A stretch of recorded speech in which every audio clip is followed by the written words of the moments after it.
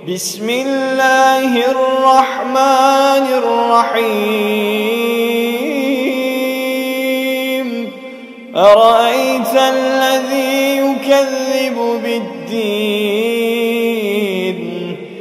क्या तुमने उसे भी देखा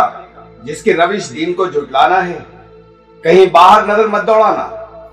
खिताब तुमसे है दीन इस्लाम के दावेदारों से है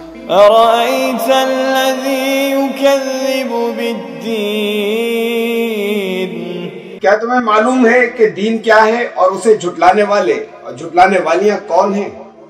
जो खूब समझने के बाद इसे रिजेक्ट कर देते हैं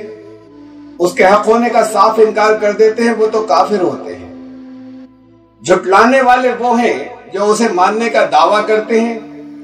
अपनी जबानी दलीलों से उसे सही साबित करते हैं और उन्हें देखकर दुनिया सच्चे दीन को झूठा समझती है।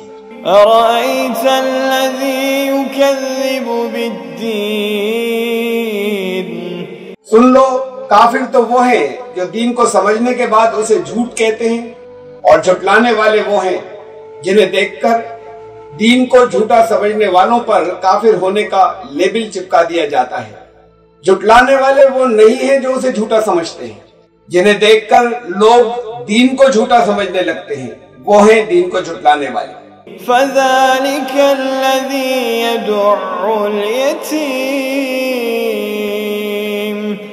नहीं समझे तो सुन लो कि ये वो लोग हैं जो खुद को मोमिन और मुस्लिम कहने के बाद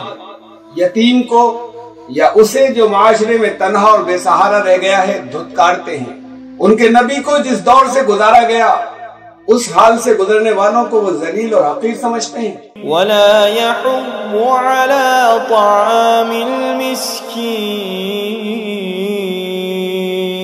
और वो भी दीन को जुटलाने वाले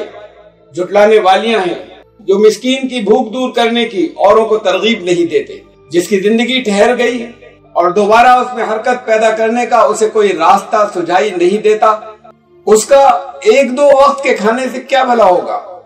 ऐसे लोगों के लिए बहुत से लोगों को मिलकर कुछ करना होगा।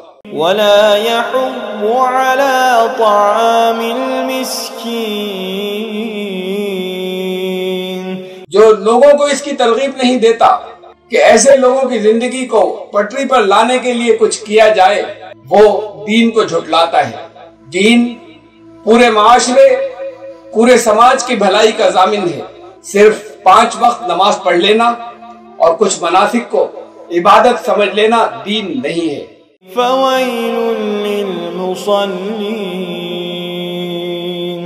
तो ये भी सुन लो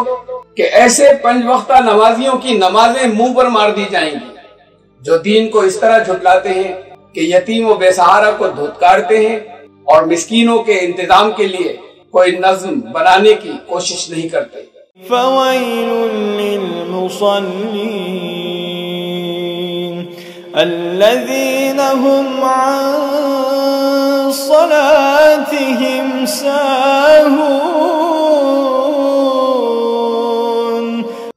उनकी नमाजें उनके लिए लानत बन जाएंगी जो अपनी नमाजों के असल मकसद ही की तरफ से गाफिल हैं जो मस्जिद में यतीम व मिस्कीन के कांधों से कंधा मिलाकर खड़े होते हैं और मस्जिद के बाहर यतीम को धुतकारते और मिस्कीन की तरफ से गाफिल होते हैं वो खुदा को मस्जिद ही में छोड़ आते हैं सलाद का कयाम तो खुदा को साथ ले लेने का नाम था उसके कवानीन के हर वक्त याद रहने के लिए नमाज थी जो नमाज की हकीकत ही नहीं जानते उनकी नमाजें उन्हें रुसवा करेंगी और उनकी हलाकत का बाइस बनेगी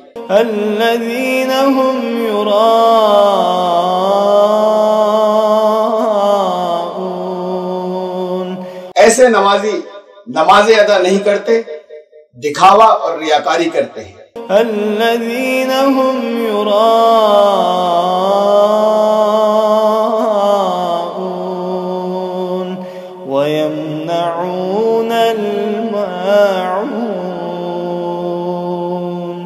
उनकी नमाजें सिर्फ़ देखने वालों की नज़रों में नमाजें हो सकती हैं जो ऐसी चीज़ों से भी लोगों को मना कर देते हैं जो बगैर कीमत अदा किए हर एक को मिलनी चाहिए। और बहुत मामूली छोटी छोटी चीज़ें देने के लिए भी जिनका दिल तंग होता है। रब्बुल आलमीन तो अपने न मानने वालों को भी हवा, पानी, रोशनी और रोजी देता है। रब उनके साथ होता ही नहीं, जिनके दिल तंग होते हैं। और जिनके साथ रब ही नहीं, उनकी नमाजें कैसी? वो हैं दीन को झुटलाने वाले, झुटलाने वालियाँ।